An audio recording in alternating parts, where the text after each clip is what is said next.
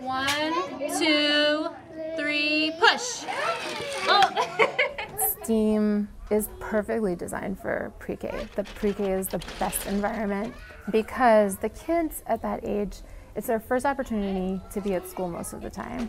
And so if we can create an environment for them where they feel safe to make mistakes, where they have hands-on materials to explore, it can really help them develop those creative and critical thinking skills. Oh, it went all the way to, what are those numbers, Amina? Teacher A three and a four. STEAM is just the acronym for science, technology, engineering, art, and math. It's just a fancy way to say hands-on learning with open-ended materials.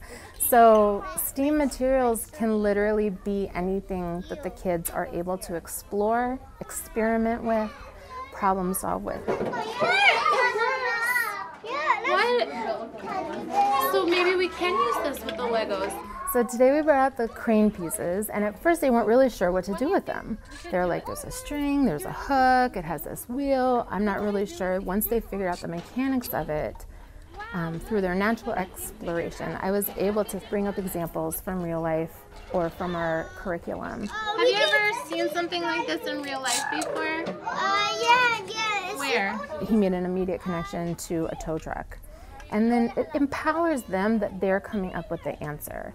It's great for their social emotional skills as well because they're going to have that confidence. So when they're going on into school, they know I can solve a problem. Did it work? Yeah. Yeah. So what did you have to do to make it work? You have to, you have to put a house right there Uh-huh. and blocks right here. Yeah. Growing up in school, it was the teacher tells you the problem and then the teacher tells you the answer. And you just have to remember it. And you, I never cared. I didn't like school. So naturally, I became a teacher.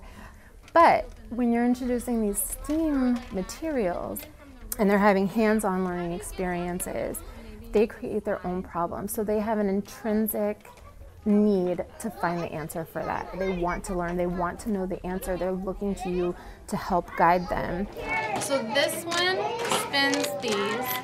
This one spins these. How can you add these in so that they can spin? And just seeing that growth and watching their minds work how can i figure out this problem? And you can see them across their room and you're like oh she's gonna figure it out. And you have to you it's so hard because you love them so much you want to just solve the problem for them. And i think that's all of our natural instincts. Like i have to just like step back and put my hands behind my back and say okay she's gonna do it. I can see it. Just be patient. Don't bother her you can do it.